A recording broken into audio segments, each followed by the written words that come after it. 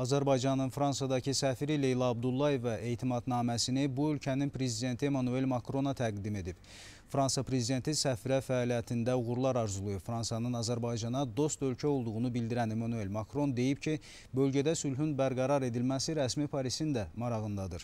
Səfir Leyla Abdullayeva Azərbaycanın bölgədə sülhün bərqərar edilməsində ən maraqlı ölkə olduğunu və sülh gündəliyini təşviq etdiyini bildirib.